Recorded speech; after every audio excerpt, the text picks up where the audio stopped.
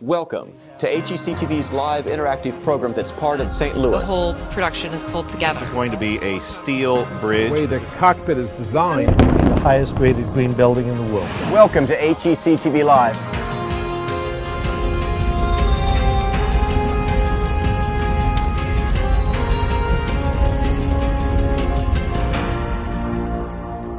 Let's begin by finding out what Battalion Chief Gary Graff from Pacific has to say. Thanks so much for being with us today. Good morning. Our pleasure. Well, let's start out with you're a battalion chief. Yes, sir. What does that mean? Like in terms of like the way a, a fire department is organized? Is it is it similar to a military organization, company, battalion? It's, it's a paramilitary. Like at the top, you have the chief, which is the overall leader of the organization. Uh, below them, he has deputies and then battalions. The battalions are in charge of the crews that are actually working on duty at each individual engine house. Uh, below them, then the captain. Each engine house has a captain. It's in charge and responsible for the trucks and the crew at their particular station whenever they're on duty. And we're at the Eureka Fire Training Center, which is, is, is used by the Tri County Consortium, which is made up of what fire districts in the in Missouri area? Uh, there's six fire districts that are currently involved, which would be Pacific Fire District, Eureka Fire District, the Valley Park Fire District, Fenton Fire District, High Ridge Fire District, and Cedar Hill Fire Protection Districts. And talk a little bit about what why have a fire training center? What's its purpose in general? Uh, the biggest advantage to it is it's centrally located kind of amongst all of us. Um, that and we all have the same requirements as far as training, uh, live burn trainings, uh, EMS trainings.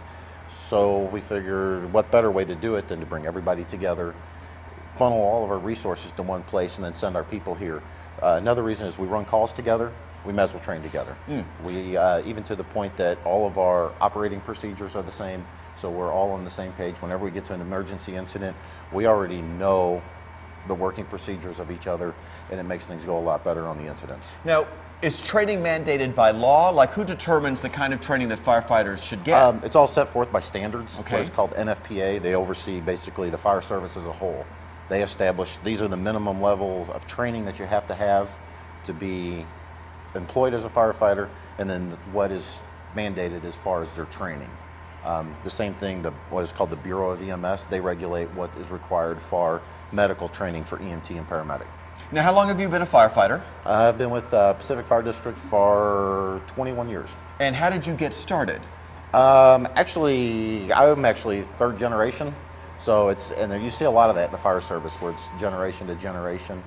Um, so it was kind of I grew up around it, had an interest in it. Um, I was still in high school, started volunteering, and that's got me where I am today. And what about the job is something that excites you, interests you, that you think this is a good job I, I, I was interested in?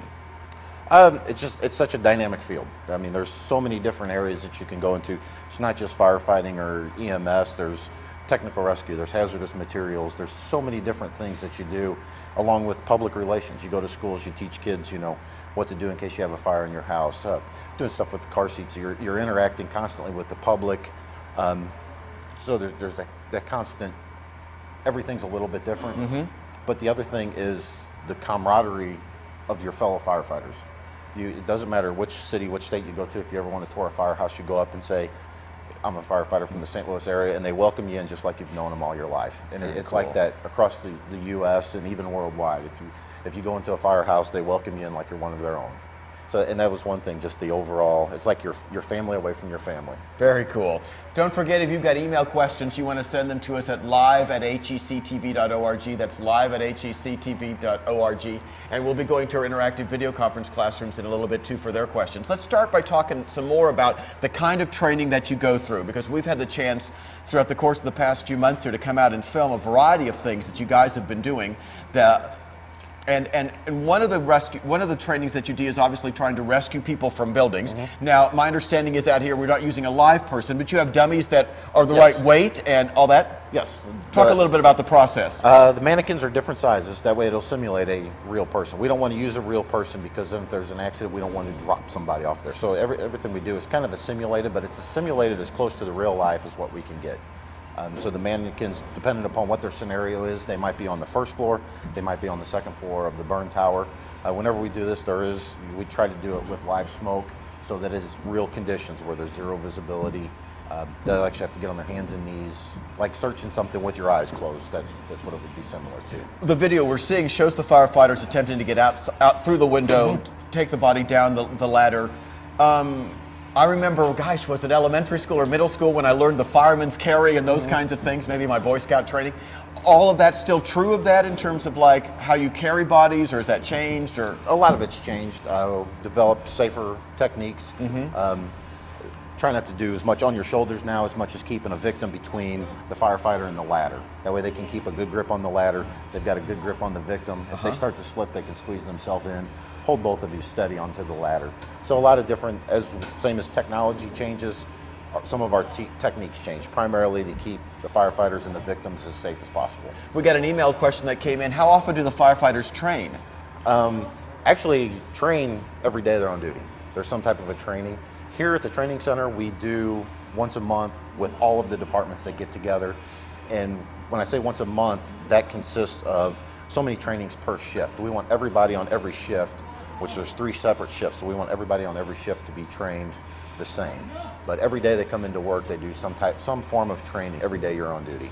Now, we also know that you do um, training with smoke, training with fire itself in that tower building. Mm-hmm. Okay, so like, is one, you want to get the firefighters used, obviously, to a smoke filled environment. Do you also have the opportunity to get them used to the heat of the fire? Yeah, a little bit. It's not going to be the same as an actual fire inside of a residential or inside of a building because we don't have the contents. In your house, you have couches, you have tables, you have materials that burn inside of there.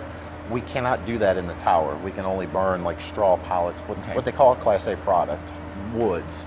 So some of the heat is a little bit less, but it still it gets them the same environment of being able to watch some of the uh, fire spread, um, some of the changing conditions in the environment, and then also ventilation, making getting all the, the heat, smoke, and everything out of the building. They can kind of see how that works from the inside. You're seeing videos today that, we're, that we've shot before, but we're also going to have the opportunity live during today's program to go into the smoke filled room and you can see the kinds of cameras, the thermal imaging technology that's being used by firefighters to be able to work in that kind of environment. You also deal with just like training them to hook up the hose correctly and, and all of that, correct? Yes. So now, now, every fire truck comes with more than one kind of hose, or like, Oh, and it's d- diameter difference, and I assume it's because you want to be able to carry more water through a different size of hose. Yes, some of it's for, you know, the, the smaller hoses are what we call hand lines. That's what you actually use for attacking the fire. Some of your larger hoses are used for what's called su- water supply. That's the hose that would be hooked to the hydrant, to the fire truck to get the w- additional water to the truck so it can be to the fire. So each, each different size of hose has its own different job. Um, so we have to carry ada- adapters, appliances, and different things so we can make those hoses work properly. Now, it's 10 degrees here in Pacific, Missouri today, for those of you who might be watching via the internet in the sunny climes of Florida. And my hands are getting cold. And obviously, you guys are working in gloves and, and a, a big uniform that we'll have a chance to put me on in a bit. But talk a little bit about the nature of how the cold changes the job. Um, well, first thing is, like I said earlier, is the safety of our personnel. Want to make sure that whenever they come in in the morning, that they have on warm clothing, that they're prepared. That at any time you could be outside. So make sure you have warm clothing on, that you're prepared for that. Um, whenever you get on scenes, being careful what you're doing. Uh, hoses, naturally, if we any water or anything leaks, it turns to ice right away. So slip hazards. Um, over the weekend, snow moving through the area. Just making sure that you're acclimated for the weather. Same thing in the summer. When Okay. it gets hot in the summer, drinking plenty of fluids, keeping yourself ready to be into those conditions. Um, it also involves getting extra personnel to the scene, maybe even calling extra ambulances so we can get them in out of the elements, keep people warm as we're rotating crews in and out of the incidents. And do you, do you, obviously, you do training in all kinds of weather? Yes. Now, we, another example of the training videos that we saw before was forcible entry. The uh, obviously, in a lot of instances, you're going into houses that may be burning. There may be people inside, and the front door is locked. Obviously, so you specifically train to be able to use crowbars or some sort of equipment to bang those doors down. Yes, we, we train to be able to open up not just a door on a house, but also on a big commercial building, uh, garage doors, any type of doors, windows, anything. We have to be able to be able to get into the building through those. And do you literally have battering rams for big kinds of doors, or is it all based on like you know dealing with the lock and trying to jimmy it that way? We try to go through the lock and around the door. Um, it, it depends upon the situation. Um, a lot of fire, something in the building, we have to get in really quick. We might there might be a little bit more damage, What we try to do is minimal damage as possible. So that's why it's important to understand the techniques on how each door opens, how the locking mechanisms work on it, so that we can get it open as fast with as minimal damage. And obviously, you're doing that in full gear with gloves on, etc. Describe, if you can, the difference for the audience in terms of like doing that with your bare hand and, and, and getting used to that. Obviously, it's second nature to you now, Yes. but Uh, that, whenever we train, we, we train like we work. So we wear all of our gear, we wear our gloves, we wear our uh, air packs, we have everything on. So you get used to working with those. There's certain drills that we do so you get accustomed to using your gloves mm-hmm. in, in the bulkier environment. Um, the best way I can describe it is the first time you put the gloves on doing things, it's like working in a pair of mittens where all your fingers are together and it's a little bit more. But once you get used to using them, how your gloves move, it's like I said, it's we, we train constantly to be used to functioning with the mm-hmm. gloves on. And the last example of training we've got comes from your roof cutting center. center. Mm-hmm. And, and the, the goal here is like literally you might have to get on top of the roof and cut into like the roof and get into an attic to rescue somebody? Well, not as much for rescue, but for like a fire condition, there has to be a way to get all the heat and smoke and everything out to create a safer environment for the firefighters to go into. Uh-huh. So if you have to, uh, one of the ways to do that is to open up the roof. You actually put a firefighter onto the roof with the saw, they open up the roof. That allows all the smoke and heat and everything to rise up out of the building so the firefighters can go into the building in a little bit safer environment. Wow. So you're literally all over the place when you go to a building and you've got to be prepared to deal with all aspects Yes, of it. yes. Very cool. Don't forget you can email us your questions to live at hectv.org. That's live at hectv.org. And we've got a question. What's the kind of saw that you use to like do that kind of cutting? Uh, there's a couple different saws. Some of them are just basic chainsaws. Okay. Um, the disadvantage with those is nails and things catch them that change dull quickly.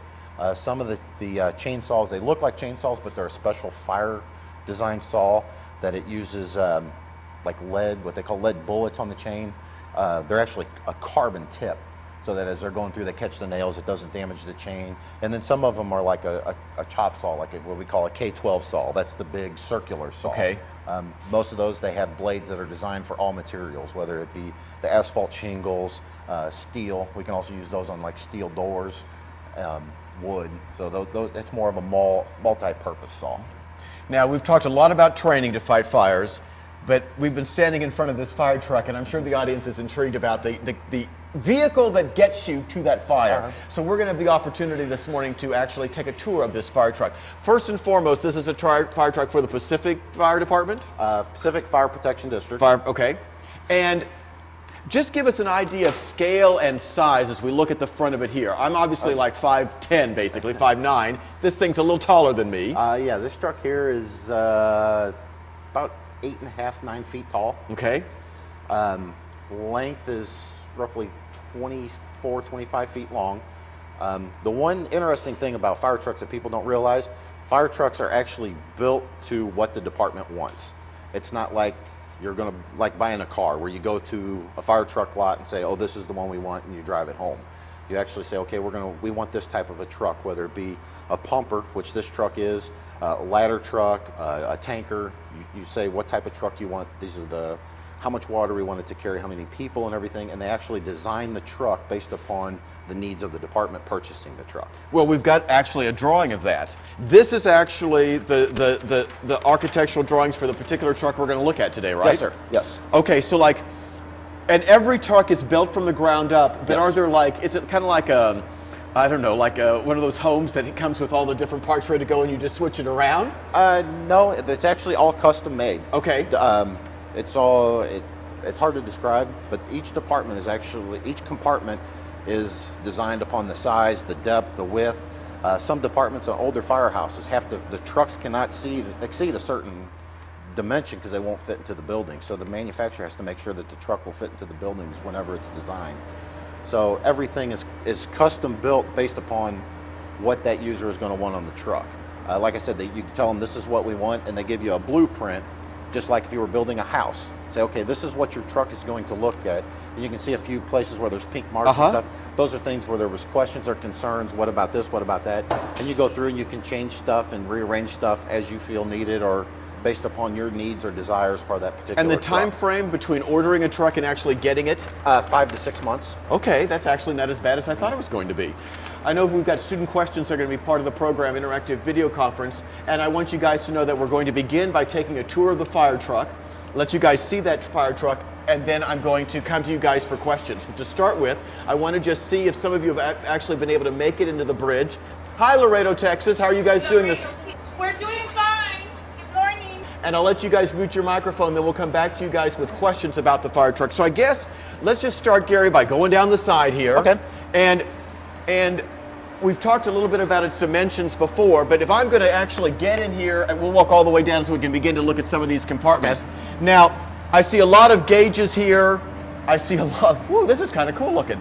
So what do all these things do? This is how we get water off of the truck. Okay. Um, each valve, each lever controls a valve that controls the water, the amount of water that's coming in or off of the truck. So the, Okay. the person operating the truck, this is how we get water into the hoses to uh, to fight the fire. and is this where the hoses connect down over here? Yes. So, so obviously different sizes because the hoses are different size. Smaller ones are out, bigger ones are water in. Oh, okay. So like this is the water that would come out of the fire truck to put out the fire. Yes. And this is coming from the hydrants into the fire truck. To the truck. Yes. Oh, very cool. Uh, And- some and- of the hoses that you see, like are on the sides here, they are actually already connected inside of here. So as soon as Uh-huh. they pull them off, all we have to do is pull a lever here, and they have water into the hose. oh, very cool. And so, how much pressure are we talking? Uh, they operate off of 100 pounds at the nozzle. Oh my gosh. So it's, as you're holding the nozzle and it's flowing water, Uh-huh. there's 100 pounds of pressure coming out of that nozzle. Okay. We continue to go around the side here, and we look at other gear. Now I'm just seeing here. Here's like examples of the saws the that you might use for roof cutting operations. Uh, And, fans. and what do we got? This is just Uh, different. some of this is just different stuff for uh, different types of calls. On the bottom, uh, we have a plug kit, uh Uh-huh. absorption material for like oil, Okay. things that are spilled onto the highway, um, toolbox, and utility rope. The red box is what we call our flue box. All right. If you have a chimney fire, that's the box we use to, Okay. to uh, put the chimney fire. The box with all the valves on, that's Uh-huh. actually where we get our air to refill our air packs. Oh. So we come out here, we hook this up to our air packs, and we Uh-huh. can refill our air packs at the incident. So you're talking like the air pack I'm going to put on in a bit. That's what you're refilling. Yes. Okay. Yes. And we walk around here to the back side, and in case you aren't aware of it, down in Texas, it is a cold day here, uh, about 10 degrees in Pacific, and you would literally climb up here to get to the. Yes, this ladder actually Ah, very cool. Uh, there's equipment stored up top. Behind the black tar, uh, black cover here is Uh-huh. where the hose, the hose that would go from the hydrant to the truck, that's where it's all stored at. Uh, one thing about this truck, if you look at that's kind of different than some of the fire trucks, is you don't see the ladders on the side of it, which they're actually stored inside. Okay. That way they're protected a little bit more from the weather. So, Uh huh. so they're Very actually cool. Um, Let's go back around this way. Oops. We'll avoid the. And, and we'll go inside the truck now and have a chance to see what that looks like. And um, Gary, can I ask you to go around the, to the passenger side? Sure. And um, I'll just go in here. This is my big moment. I've always wanted to go inside a fire truck before. So I'm going to climb up in, and my gosh, we're in the compartment inside now where I'm seeing tons of stuff. So, first and foremost, um, I hope we have enough light to be able to see the controls I've got going here. But I mean, it, it operates. It's, it's automatic. I'm assuming. Yes. Okay. Uh, actually, the transmission to put it into gear. Uh-huh. The push button right here alongside of you by your right arm.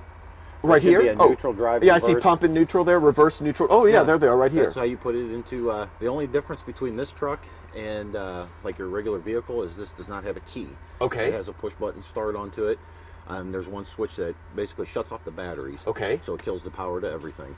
Um, other than that, once you get into it, it's got the drive, uh, everything just like a car. Uh, gauges. Um, up top, on here is where we have the siren, Uh-huh. radio. Um, also, we carry. Uh, we use what's called headsets. Yes. That way, with the noise of the siren, the the uh, engine of the, the engine noise from the truck, we can actually talk to each other in the truck as we're going to a call, and then we can also communicate with our dispatch center through these as well. Very good. And I noticed that way over here, it might be actually be best if Rob comes around um, to the side and goes through the passenger door.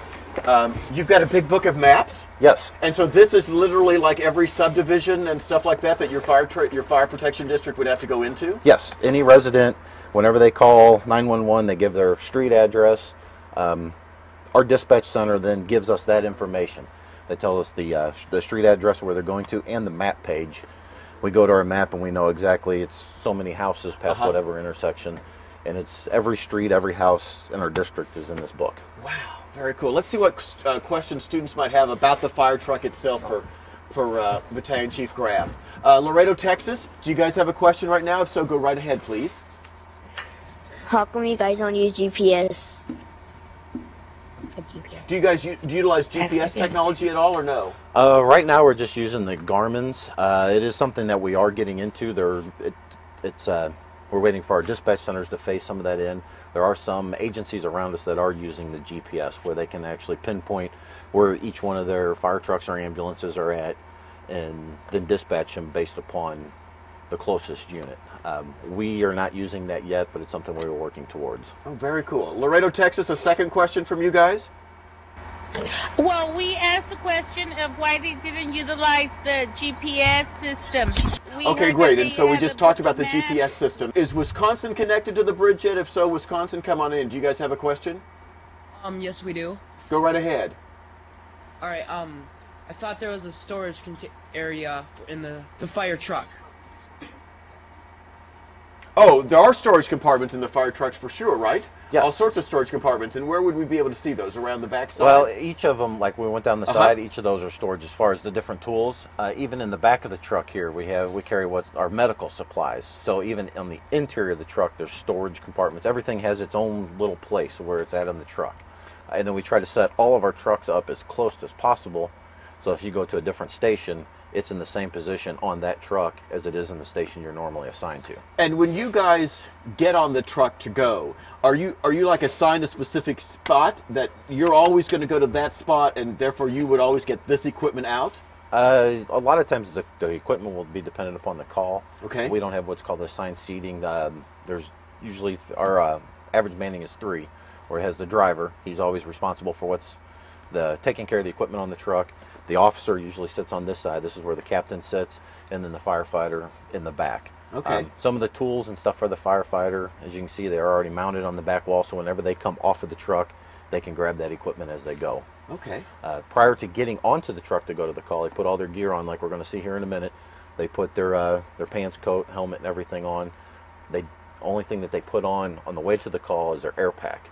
Um, again, another training thing that we have to do. We have to be able to put the air pack on with our seatbelts on. Okay. Because you do have to wear it, same as riding in your car. You have to have your seatbelts on.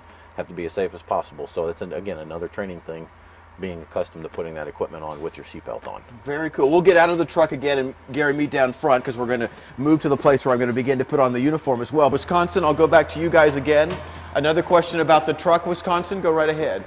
Yes. Um, is there like um a water storage where how, how much you can hold up? Yes, and, and uh, we'll just go down the side again. He's asking about the water storage. Yes. Uh, in terms of like, so how much, for example, can this truck hold, contain, or. This truck has a thousand gallons of water on it. Okay. The water is actually kind of hid Uh huh. behind these compartments. Is where the tank is at. You can't actually see the tank from the outside of the truck. Okay. Uh, this truck has a thousand gallons, um, it, and again, it varies upon the job that you want it to do. Uh, the biggest one we have carries three thousand gallons, and it's what we call our tanker. Okay.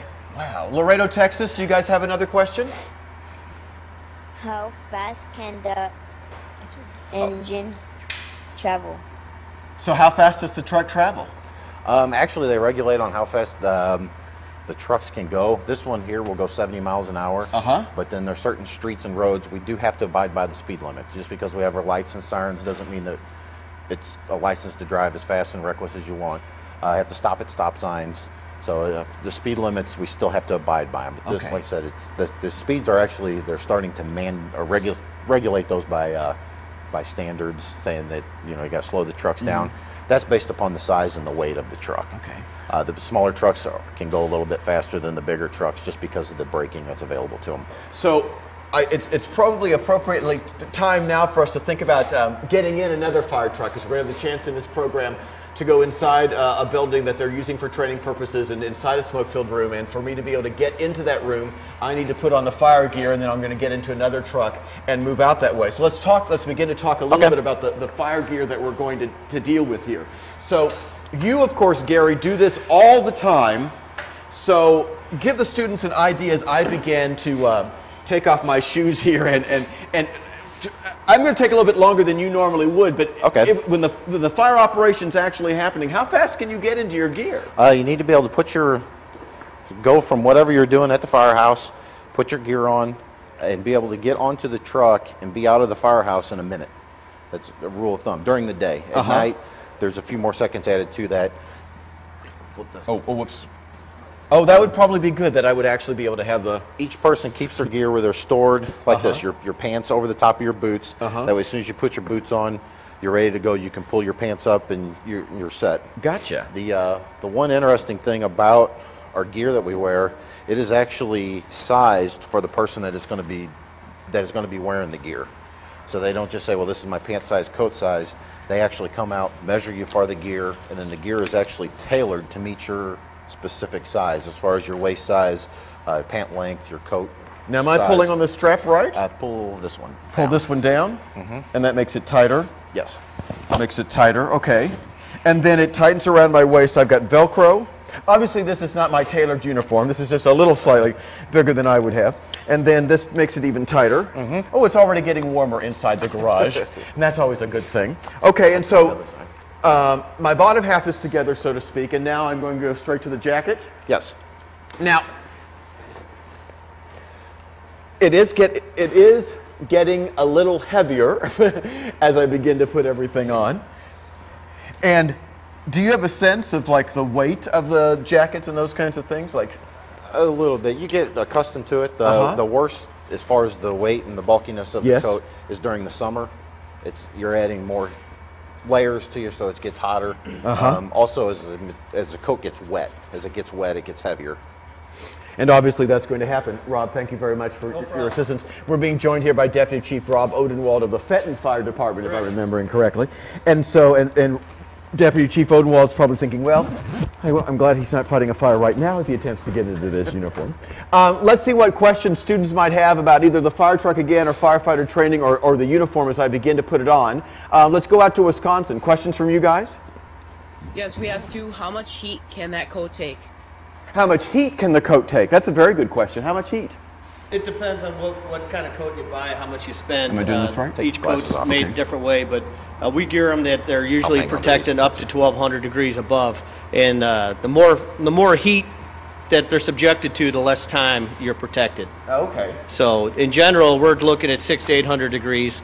Uh, when we're talking about that 1,200 degrees and up, that's in extreme conditions.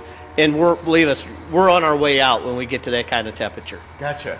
I'll let you keep that microphone as we Okay. continue to ask questions. So, um, I'm, now I've got the hood on properly. now I've got the hood on properly, so I can like now I can zip my jacket. up? Right, and the reason that is, all this goes down underneath. Like you see, you're bunched up here. Uh-huh. That would be an open spot. Oh. You put your ho- the hood on first. Now the coat goes over it to protect then, your neck. Again, the neck gets protected. Right. way. Wisconsin, you guys had another question. Yes, how much does it all weigh? Oh, how much does it all weigh in general? It's not quite as heavy as I thought it might be, but When we, we figure total gear, once you have your SCBA on, you're adding about 50 pounds to your body. okay. Your gear is somewhere probably 25 to 30 pounds, again, depending on what manufacturer you purchase and uh, what exactly what the makeup of your gear is. All right. And Laredo, Texas, do you guys have a question for me as I begin to What we do, come on, struggle here? Yep, see? Velcro Gotcha. all the way Velcro across all the way across. Now that goes across And your neck. goes across the Yep, neck. All the way down. Laredo, do you guys have a question? Yes. What's an air pack? What's an air pack? Well, you're about to see what an air pack is because I'm about to put this on. Thank you. Whoops, wrong direction. There we go. Thank you for that assistance, Gary. This is way. Now, what you just lean forward a little bit Uh-huh. and pull those down tight, same time. Okay. Like that? yes, Oh. exactly. Okay. And now you're going to bring the waist strap in. Okay, so I've got the waist strap, and I'm going to just like a seat belt. Exactly. Okay. You want the majority of the weight to be up here on your shoulders. That's why you pull those down tight first. Okay, and then I tighten it up this way. Yeah, you pull from each side. Oh, there's a. Here, hold on. Okay. You weren't clipped all the way. Oh! I've unclipped. Okay. You, you should have a strap on each side. Uh, right here, maybe? yep. it. And Very pull good. both forward. There you go. Okay. Okay, so now I'll turn around so you guys can actually see the air tank. And there is, how much air is in here? There's, uh, this one is a 4,400 pound cylinder. Okay. Now that's not 4,400 pounds in weight, guys. I'm not holding 4,400 pre- pounds on my back. Of air pressure. That's air 4,400 pounds of air pressure. That's a high, uh, high pressure cylinder. Okay, very cool. We'll continue to put on this uh, oxygen mask next. Is that right? Okay, air mask, not air, ma- air mask. Air mask. Now that's an important distinction, right? Yes. Because tell me why. Well, oxygen is a contributing flammable, so we don't go in with oxygen. We're breathing air, just like you're breathing here, purified air. That's right. So I'm bringing air just like I would normally. Yeah. Take the hood off first. Take the slide hood it, off Just first. slide, it, Slide it back. back. Don't take it off. Just slide it back. Like this? Yeah, Further? all the way back around your neck. going. Like that down? Exactly. Okay. All right. And this goes up Yes, sir. and down. Now, now you got a strap on each side, one here and one here, and you pull them at the mm-hmm. same time. But you make sure this is all the way around the back of your Okay. head, Am I holding the straps properly? and just pull them straight back. Okay. There you go. Very good. And I'm all strapped in. Correct. And we're One hoping to be as tight as the- possible. On the temple. And I've got both Pull of them those two right. taut, Okay. yeah. Pull these taut. Yep. And now I'm into the I'm in the air mask. You're in the air mask. Don't want to use oxygen. And Slide then your I, hood I'm back. gonna my, my hood back up over the top. My ears become warmer again. And I go all the way down Bring it all the way down to the top of your mask. Exactly. like that. Bring it back a little bit so you don't want to restrict your view, Okay. but you can. Now this is where it's real important, and this is where we work together as a team. Uh-huh. If Gary was your partner going in the fire, he'd be doing just this to you, help you out. We're going to put all those straps underneath there. You don't want any gap. You don't want any ki- skin exposed. So no skin exposed, obviously, for heat and all Right. those kinds of purposes. Then if Gary was your partner and he was gearing up, you would be doing the same thing to him. And just so you know, I'm able to see through the mask fine, but I do feel like to some extent my peripheral vision seems Yes. limited in, in ways that it would normally be limited. But I'm able to see through and you guys can hear me. Now the helmet goes on. And right on top. Oh, I think you got my size. Very cool. And then I'm going to strap in. Make sure it goes all the way underneath your chin. Oh, okay. We want our helmet to stay on. Let's go to Wisconsin. Do you guys have a question? How much can that air mask go through at the time? Uh, How wh- much can it heat get in per second? Oh, okay. So in terms of like uh, when the air mask gets turned on and everything, um, what's it operating as? How how much you know air am I getting every once in a while, and how does it It's, actually it's work? regulated down. There's two regulators that's built in to turn around there. Uh-huh. It comes out of the bottle at 4,400 pounds, and it's going to get regulated down here, right here. That's your, your primary regulator. Spin around here. Okay. And this is going to be your secondary regulator. So what it is is I can't tell you the exact psi offhand, but it's a positive pressure Okay. Uh, mass, so it's higher than the outside atmosphere. So if you get a little bitty leak in here, Yes. it pulls away from your skin. Uh-huh. It won't allow smoke in. It's actually going to leak out, keep the smoke from coming in. Okay. Because sometimes when you move, you may break that seal just a little bit. And then what do we do to turn on the tank? You're going to reach back if this, and you Am I- turn this right where you are. Okay. You're going to turn that. I'm going to turn it toward my left. Clockwise, counterclockwise. Turn it, and keep turning until it's all the way open. Wait. Okay, you got to really twist it. Okay, this is an unusual angle to say the least, but I'm not getting any movement. Okay, thank you. To turn it. Okay. You're going to keep turning so it's all the way on. Okay. Now, now go ahead and turn it. Keep turning. Where am I at here? Right there. I keep turning. Until it's all the way on. Okay. It stops. There you go. Okay. Now notice I'm fogging up a little bit. Exactly what's going to happen, especially when it's cold out. And you heard that little rumble? Yes. That was that kicking on. So what you can do is you're going to clip that in. Okay. This is our purge valve that goes straight up, clip in, hold your head stiff, Okay. twist. Now take a breath in, real hard. Hard, real hard. Okay, you got to really suck it in hard. You getting any air? Nope. You're not. I got. I turned the purge valve on. You're not activating the seal. So Hold on a second. We're gonna I- take this off. Okay. Am I not tied up? Am- uh, You should be, but it takes it. Which, when you clip in, you do a Okay. real hard. All right. And it, it, it activates on itself. Okay. So now hear that buzz, buzzer there? Yes. Shake a little bit.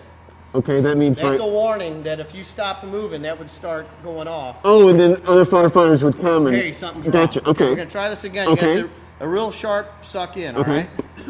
Hold on. Let me get it in there. Okay. Real hard. Okay. We're gonna have to get that. Uh, Okay. So it's not. well, give him some air. So I just. It. Am I not sucking in hard enough? Probably. There you go. There you go. And now I'm feeling. Okay. I see you got a little bit of a leak there. See, hear that air running? Uh huh. yeah. Okay. So, We're gonna have to pull your mask a little tighter. okay. All right, now you got to shake still. Oh. There you go. Oh my gosh. Okay, so it's, it's a complicated process, to say the least. It's a complicated process. Uh, are the mask and what are the materials that the mask and helmet are made out of, guys? Is this is this fiberglass? Is this, This like is plastic? fiberglass up here and some plastic. Uh-huh. Uh, and similar with the mask and it's heat treated. These are probably your your shield up here is Uh-huh. probably going to withstand the least amount of heat on you. So I, I can't tell you off the top of my head exactly the temperatures, but you're usually talking at least 600, 800 degrees of protection right Okay. there.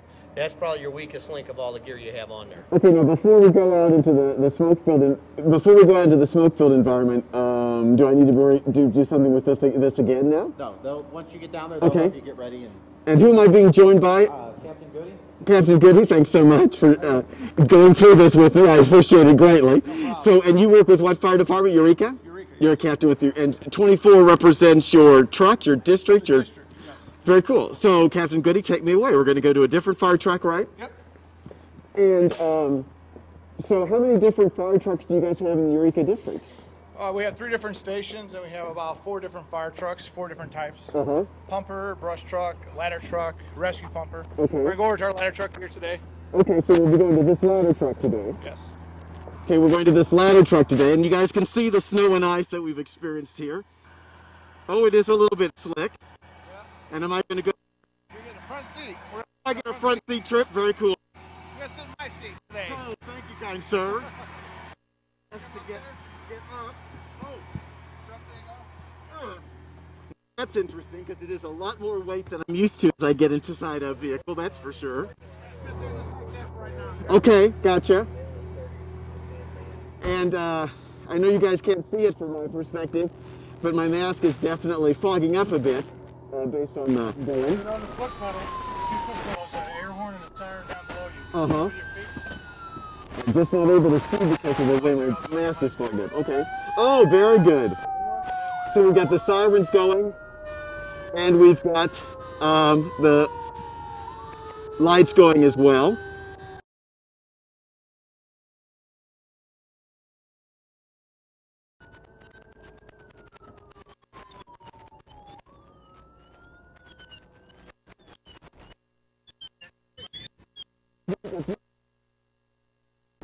We go in, you'll see we'll hook up a thermal imaging camera so you guys are able to see it. And then when we get back into the garage again, we'll talk a little bit about how that thermal imaging technology works. And that's me making that noise because I'm not uh, moving around the way I should be.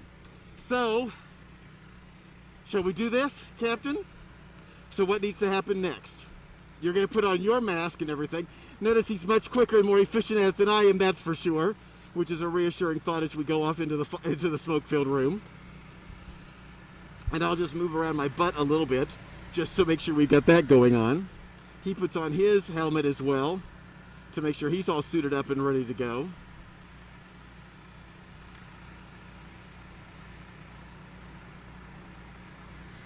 And again, he's working much more efficiently. And I can see that your mask is fogging up a little bit too. For sure. Inside a burning building, we're not gonna need our, not gonna see. We're gonna go by feel. Everything we do is by touch. That's right. That's an, that's interesting for everybody to understand that you, once I'm inside the burning building and I'm dealing with smoke, I'm going to touch everything or I'm going to use the thermal imaging camera to make my, my ability to see everything anyway. Yes. Okay. So now So what we're gonna do is we're gonna get you to the door. We're gonna click you in here. Okay. We're clicking my oxygen mask on. Ready? Here, take a deep breath. You getting air? There we go. I have air coming in now, Okay. and you regulate that. And Yep. just- it's a continual stream of air. Yeah, no, actually, since you got a leak, that's why it's doing that. Okay. On mine, you'll see that it won't do that until I have to do it. So you'll Okay. listen to me. Okay. Because I got mine. These tanks are designed so no smoke can get in. So if I even have a leak, smoke can't get in. It can only come out. Okay, okay. So that's what these these are designed to do. Okay, You ready to go? You got you got your gloves? My gloves are in. I'll hold this for you. Let's put your gloves on. My gloves are down here in the pocket. When we make when we go inside a burning building, we don't want to have any skin exposed. That would make good sense. So I put my glove on. Oh, these are smaller. Very good if I get the glove on. And both of the gloves were in the same pocket, I noticed. Yeah. Obviously, you guys are. Um,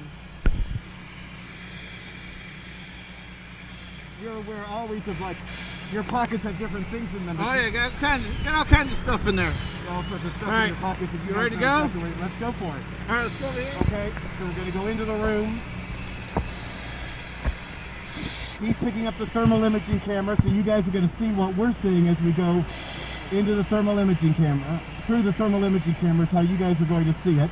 He's looking into the camera now to make sure that it's working appropriately. And you can probably hear my air going into my mask here.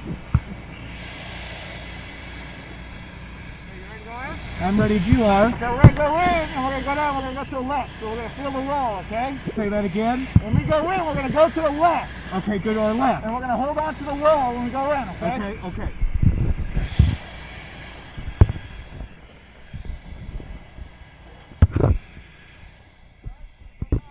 Okay.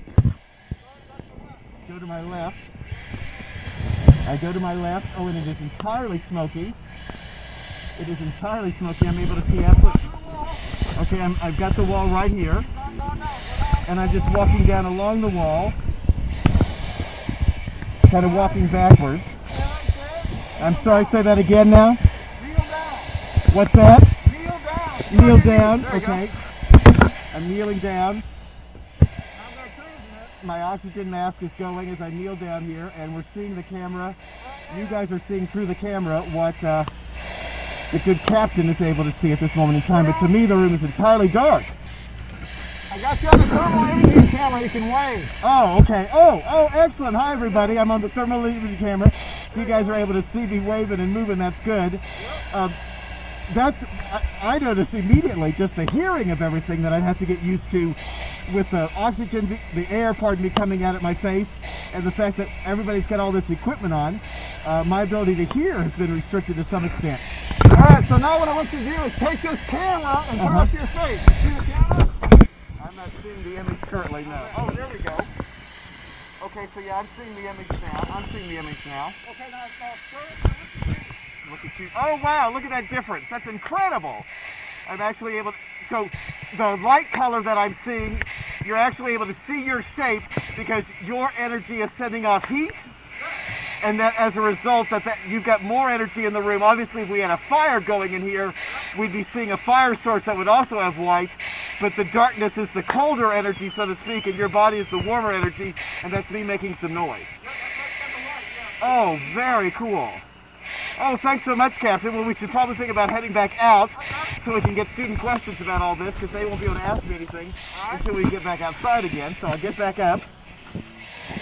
I'm going forward and I'm seeing light.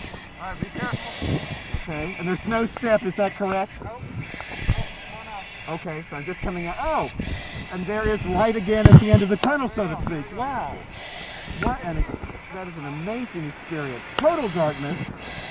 You're totally indulged in the smoking. I have absolutely no idea of what's going on in any way, shape, or form. I'm going to take my oxygen mask off so you guys are able to see and hear me a little bit better. Wow, Captain, that's amazing. That's incredible. Thank you so much for sharing that with our audience. Let's go back uh, into the garage so we can get some student questions and we can begin to talk about how that technology works. I'll give this microphone back and we'll just head that way.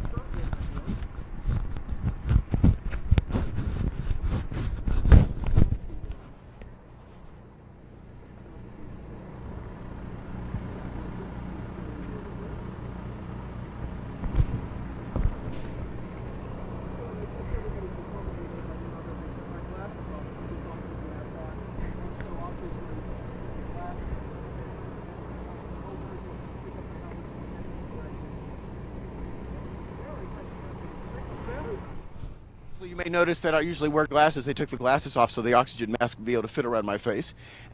And um, taking the helmet off and all that good stuff. We're being joined by Rob Odenwald again, who's the Deputy Chief from Fenton. Let's talk a little bit about the thermal imaging technology that we had an opportunity to see as I struggled in that smoke-filled environment. You guys, you don't hear it often enough, you guys do incredible work, and I really appreciate the fact that you're sharing this with our students across the country. So how does thermal imaging technology work? Because we're talking about the fact that it's the energy that's put off by a body or an object that we're noticing, right? Right. Well, what you're seeing is you're seeing energy. Everything puts off energy. Uh, it's not uh, night vision. It's actually uh, thermal imaging rays that you're reading, electromagnetic rays that the camera is picking up. The camera picks it up and it comes through the lens, it deciphers it and puts it out on the screen. So what you're seeing in the screen on the camera is the difference in heat. It's not necessarily, it doesn't tell you what, how hot it can be, but uh, something that comes up white is strictly the hottest thing in the room. Okay. You know, that could still be 30 degrees, but compared to everything that's in there, that's the hottest thing. Something that's darker, is usually black or gray. And that's how we have to interpret those, what, what we see. We have to be aware of our surroundings, and we interpret that screen we've got an we've got an email question that's come in. Like, talk a little bit about the difference between thermal imaging cameras the way they are now and how they used to be. I mean, are they a lot smaller? Are they more oh, yeah. efficient? Uh, I don't know if you can get the picture up there. We started off thermal imaging cameras that started off years ago were helmet mounted. Okay. And had a big camera on there, and then they became smaller and smaller. You just saw the the one you used out there. That was probably the second or third generation camera. It was a little bigger. And I'll show you over here the newest one. Uh huh see it started with a helmet mounted and down to the size we're now. This oh my gosh. They call this actually a personal one.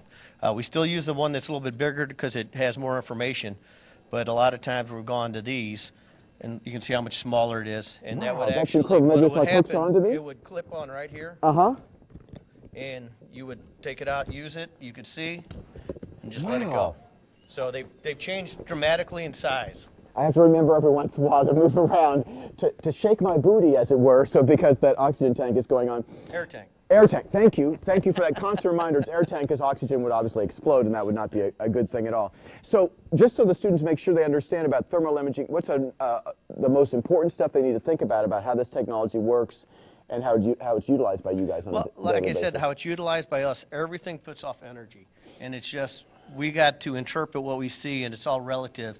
If you look, uh, by using that, we can see if something's hotter up at the ceiling as it gets lower, we know what kind of heat is in the room and if something's burning. If you just look at the lights with the camera, it's going to come up white, and down here it's going to be darker. So there's not always a fire we're looking at, but we're looking at heat energy. So you can so you can actually use this like let's say it's late at night and you're searching for somebody. I yes. mean, you use the same kind of thing. Yes, you could use this. Uh, somebody walks away from their house, okay. a little kid in, in the woods. We could will you actually use that to search uh, car accidents where somebody may be thrown from a vehicle in this type of temperature. You could scan a field or the roadway and you could see if somebody's laying out there. Or you may not be able to see at night. Police use the very similar cameras now, you know, for their for their work. So yeah, we do it more than just searching for victims and fires. Uh, we can tell if just, uh, you know, if there's a fire in the attic or if uh, if an outlet is shorted out -huh. and overheating oh, behind wow. a wall. Just something simple like that. Deputy Chief Odenwald, thank you so much You're for welcome. Thank you so much. And I want to thank everybody who's joined us obviously today via the internet, television, or our video conference schools for being here at the Eureka Fire Training Center, and everybody in the Tri-County Consortium who had helped us show this to you today in terms of fire trucks, how they utilize this thermal imaging technology, what it's like to experience going inside that building. Uh, the work that firefighters do is exceptionally important to all of us, and to give you a chance to see how they operate in this environment has been a real honor for us today. Thank you all, gentlemen, very much. We look forward to connecting with you guys again on HEC TV Live. Thanks and bye from Eureka Fire Training Center.